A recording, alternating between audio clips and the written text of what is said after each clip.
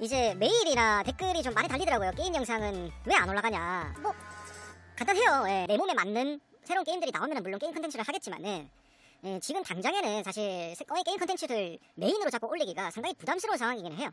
왜냐면 내가 지금 음, 컨텐츠를 다룰 만한 게임을 하고 있지 않기 때문에 예, 뭐 여튼간에 예, 지금 게임 컨텐츠를 뭐 안 올린다 앞으로도 안 올릴 것이다 이런 것은 아니에요 음, 예, 모바일 게임 시장이 그만큼 지금 고여가지고 사실 뭐 제가 메인 컨텐츠로 제가 할 수 있을 만한 그런 게임들을 지금 못 찾고 있어요 그렇다고 무작정 채널을 쉬게 놔둘 순 없잖아요 예, 그래서 무작정 쉰다기보다는 이것저것 그냥 음, 제가 즐길 수 있을 만한 제가 할 수 있는 선에서 그런 컨텐츠를 하는 것이에요 상공형 그 게임 언급은 안 하려고 하는데 그 게임 만든 슈퍼셀 신작 출시되면 할 의향이 있어. 뭐 슈퍼셀 신작 게임 나오면 하실 거냐? 예, 새로운 게임들이 나온다면 물론 나에게 맞는 그런 게임들이 나온다면은 물론 메인 컨텐츠로 할 거예요. 근데 그게 또 언제가 될지 모르죠 사실. 왜냐면 요즘 뭐 PC 게임은 잘 모르겠지만 모바일 게임에서는 다들 지금 쉽지 않은 상황이거든. 몇몇 게임들 빼고는.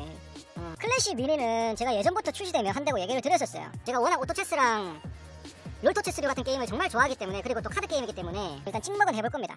재미없으면은 뭐 과감하게 안 하는 거고 새로운 게임이 나올 때까지 뭐 다른 게임이라도 좀 꾸역꾸역 하시는 건 어떨까요? 이제 이렇게 얘기를 하시는 분들이 있는데 그게 참 쉽지가 않아요. 그러니까 새로운 컨텐츠 나오기 전까지 아무거나 꾸역꾸역 하자 이게 아무거나라는 게 어떻게 보면 자기가 뭔가 흥미 없는 그렇게 큰 흥미가 없는 것들을 컨텐츠로 다루는 거잖아.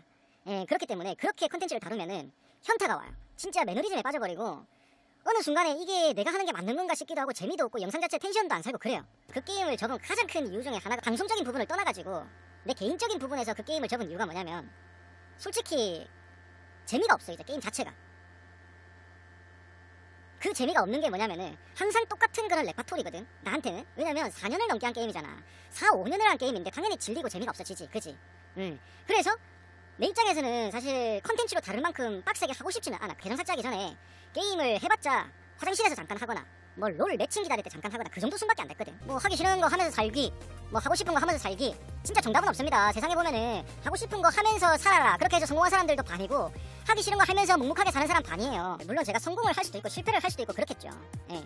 하지만은 뭐 성공을 한들 실패를 한들 성공하면 또 성공하는 그 나름대로 좋고 자 실패하면은 또 다른 도전을 하면 되는 것이고 생각을 해봐봐 사람이 살면서 하는 것 마냥 하는 것 족족 성공할 수가 있습니까? 성공할 때도 있고 실패할 때도 있고 그거를 반복하는 건데 자 실패한다고 해서 인생이 끝납니까? 뭐 한- 내가 지금 여기서 실패하면 인생이 끝나? 다시 도전하는 거지. 네, 그리고 뭐 꿋꿋하게 하니까 네 좋게 봐주세요. 네 나쁘게 너무 나쁘 너무 나쁘게는 생각하지 마시고 네, 재밌게 재밌게까지는 아니더라도 네 좋게 봐주시면 감사하겠습니다.